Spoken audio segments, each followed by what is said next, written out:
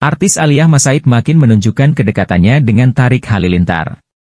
Meskipun sampai dengan saat ini baik Tarik Halilintar maupun Aliyah Masaid belum mengonfirmasi hubungan mereka berdua. Nampak, Aliyah Masaid ikut panas-panasan demi memberikan dukungan untuk Tarik Halilintar yang tanding sepak bola.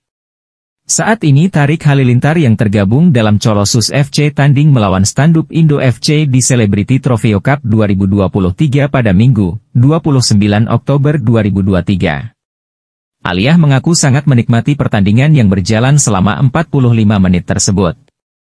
Seru banget, gak tahu tadi nyiptain yel-yel aja sama teman-teman lainnya, kata Aliyah Masaid saat ditemui di kawasan Ciledug, Tangerang, Minggu, 29 Oktober 2023.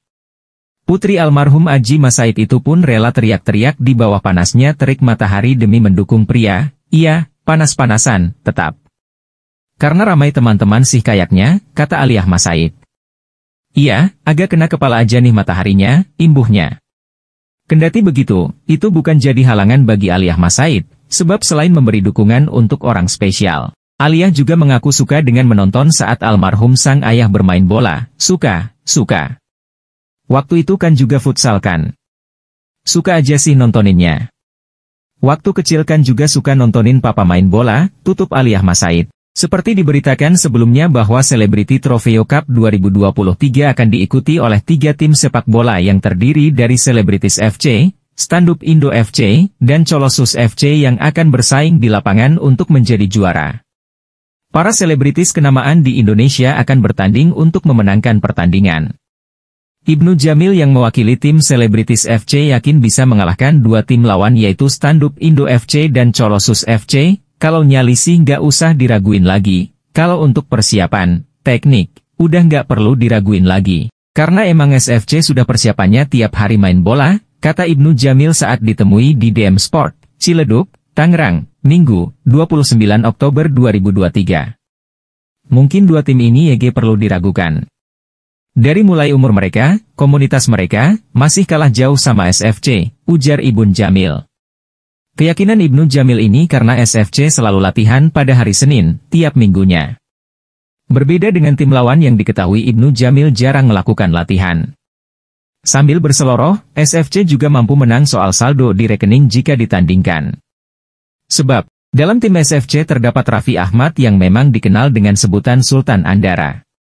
Strateginya kita kumpulin rekening masing-masing, kita adu, yang jelas kita menang karena kita ada Sultan Andara. Pasti mereka nggak ada apa-apanya semua, kata suami Ririn Ekawati itu. Pertandingan Selebriti Trofeo Cup 2023 tengah digelar di kawasan Ciledug dan bisa ditonton melalui siaran langsung SCTV. Meskipun dapat disaksikan oleh semua orang, Syamsir Alam yang sedang bersama Ibnu Jamil mengaku tidak gugup karena sering menjalani live di televisi.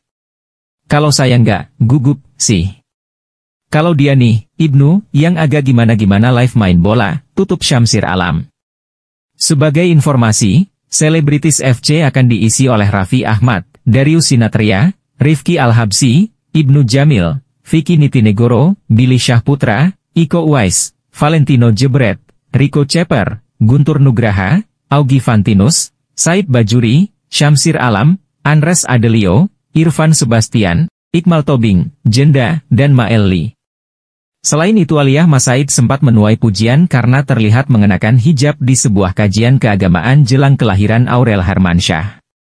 Lantas Aliyah akan memutuskan berhijab? Itu sih kita lihat nanti dulu ke depannya. Insya Allah. Semua orang kan pasti punya tujuan dan niat yang lebih baik ke depannya,